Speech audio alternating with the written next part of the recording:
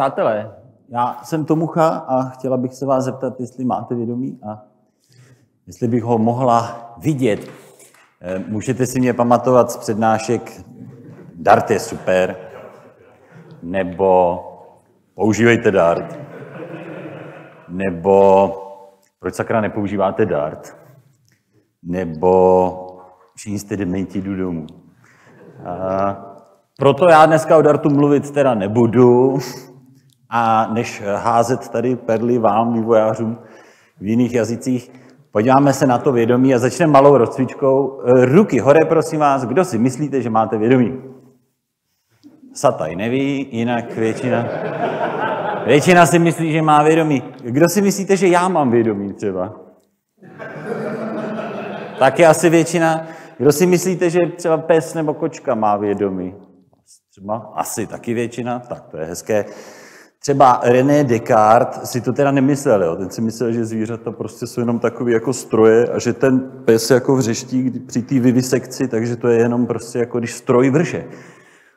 Házel kočky z okna, prostě jako, jako dnešním optikou prostě Descartes byl jako zmrt. To jste nevěděli, to vás ve škole jako nenaučili a to byl prostě debil. Co takový chat GPT nebo nějaký oblíbený váš jazykový model velký má? Má vědomí? Jako? Někdo si myslí, že má? Jako opatrně na tyhle ty jako různý, aby potom v budoucnu se neukázalo, jako že... A tohle byste si mohli pamatovat, to proběhlo loni někdy v létě, nějaký eh, inženýr tam z Google se bavil tak dlouho s nějakým chatbotem, který jako vyvíjel Až dospěl k názoru, že ten chatbot prostě má vědomí, že to je osobnost, že prostě ho musíme jako ochránit, napsal prostě dopis jako vedení, že teda musíme s ním něco jako dělat, oni ho poslali na dovolenou, že On ten dopis zveřejnil, prostě, tak ho vyhodili jako úplně prostě. A tohohle toho je jako 20 stránek, prostě PDF, to si můžete dohledat, rozhovor mezi Limoinem a Lambdou. A ta lambda je velmi přesvědčivá, jako hodně hraje na city, prostě na vazvěstním přátelství, prostě on to baští, slibuje, že ji neopustí, no úplně prostě jako román. Jako.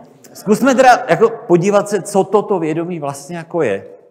Tady to začíná být takový blbý, protože těch definicí jako vlastně docela dost. A všechny jsou takové jako...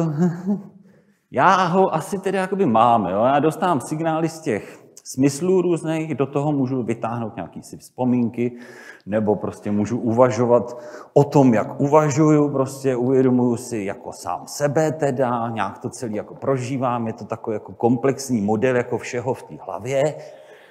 Co je ty vole tohle za definici, že jo? Jako, ale takový jsou všechny, jako jo? jenom to ten filozof řekne jako víc oduševněle prostě. Ale jako, že by se o tom dalo nějak jako diskutovat, je vlastně docela náročný, je to hrozně jako subjektivní prostě věc, hodně závislá na tom jako subjektivním jako prožitku, dost blbě to vůbec jako někam jako předává.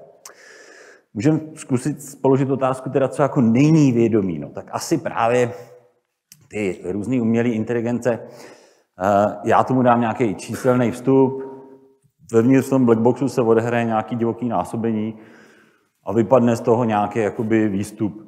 A to asi jako vědomí není, že jo. Násobení matic asi prostě fakt není jako vědomí, no. Na druhou stranu prostě třeba tam freshman, to je freshman? Jo. Všimněte si, freshman, jo. Já do něj input a z freshmana prostě output, jako. A teďka jako má freshman vědomí prostě, jako. Děje se v té hlavě něco speciálního jiného než násobení matic, jako, OK, není to násobení matic, ale je to na nějaký biochemický úrovni, jako co se v té hlavě jako děje. Má Feršman vědomí? Já si myslím, že jo, teda, takže gratulujeme. A myslím si to proto, že mám něco, co se jmenuje Theory of Mind, a to není jako vědecká teorie, jako moje teorie, že vy jste podobný jako já. Že máte v hlavě něco podobného jako já, že máte asi podobné motivace.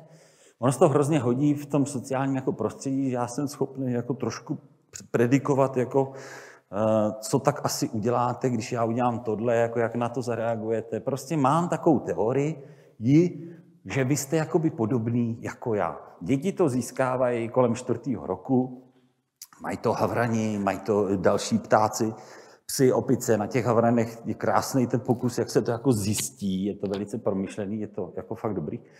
To není čas teďka celý vyprávět, takže povím jenom ty děti, A je panenka jako Sally, ta má košík, do toho košíku ona si schová, nevím si co, bonbon.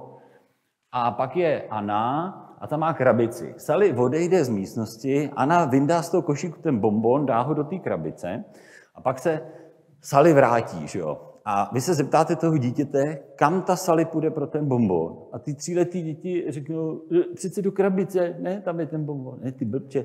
Jasně, že ne, to Sally neví, že jo. Sally se podívá do košíku, protože tam ho dala, že jo. A na to oni přijdou až v těch čtyřech jako letech třeba.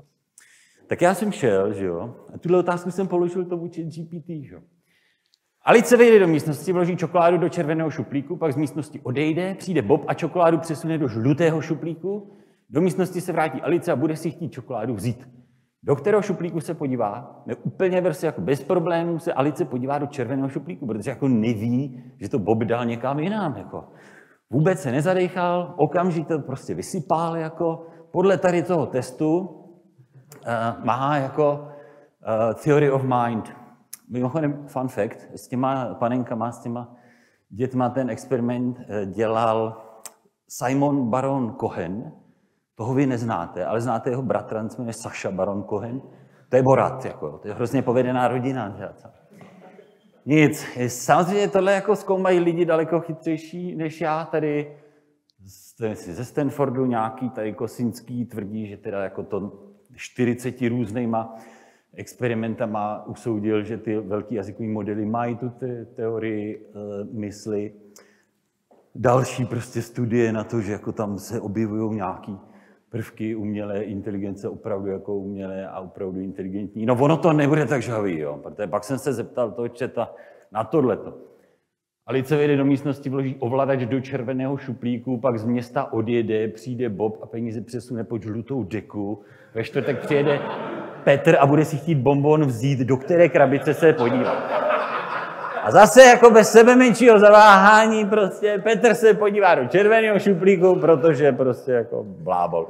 Jako úplně asi teda jako má ještě co dohánět prostě. Jo. Asi úplně ho nemusíme podezřívat, že teda nám jako kompletně jako kompletně rozumí. No. Ale vy se jako mu posmíváte, ale vaše mysl jako taky stojí za pendrek. Jo. To se jaký nepředvádí nějaký jako fenomenální výkony. Třeba tady jako vy vidíte čtverec. A kdo ne, tak by se měl nechat možná vyšetřit.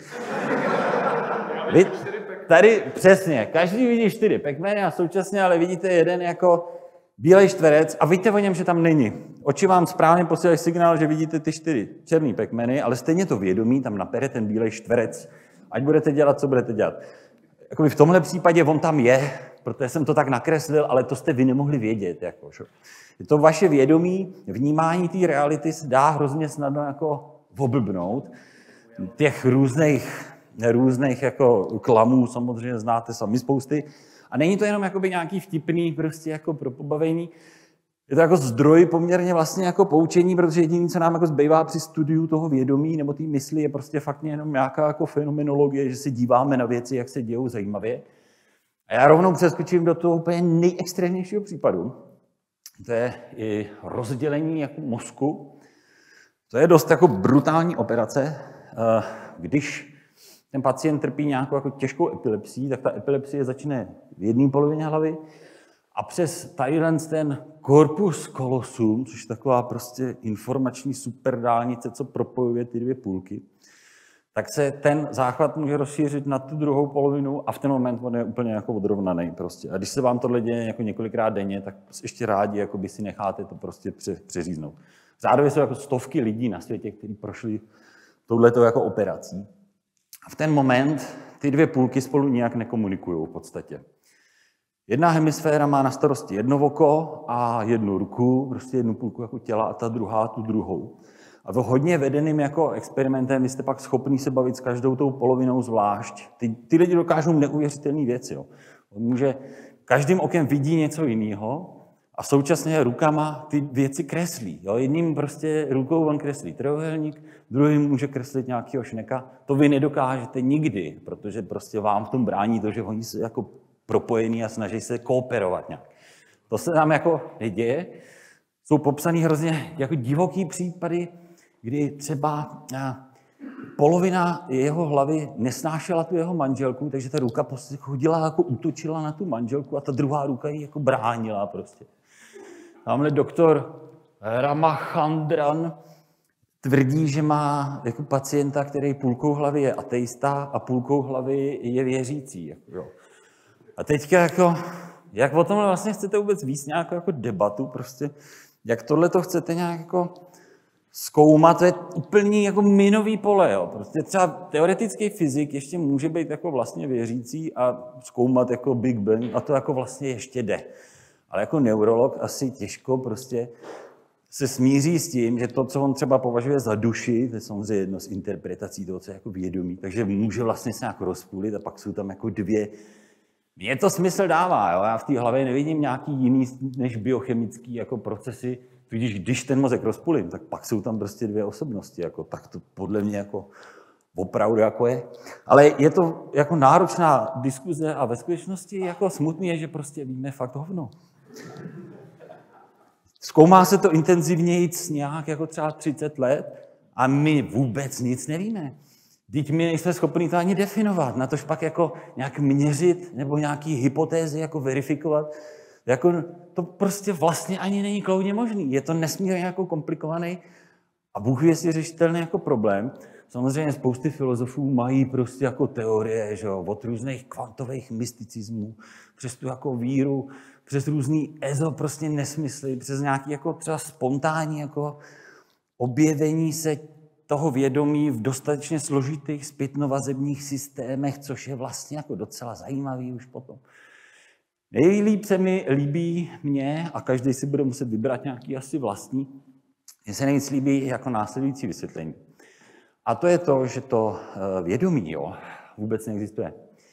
Že to prostě jako, jak vy tady vidíte ten čtverec, který tam není, tak vy si myslíte, že máte něco extra jako vědomí, ale nemáte.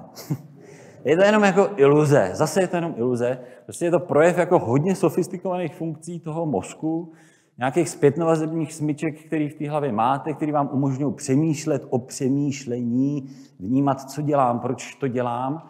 Ale tenhle ten jakoby pozorovatel vnitřní, který vlastně vytváří iluzi toho jakoby vědomí, toho už nikdo další nepozoruje. Jo? Stejně jako vy se svýma očima nepodíváte na své oči, to je dost těžký, tak se nepodíváte už ničím dalším na to své vědomí a neřeknete si, aha, to je vlastně jenom tady se sčítají matice. Je to jenom jako, je to jenom prostě iluze, podle mě. To mě docela jako vyhovuje tohleto, tohleto vysvětlení. No.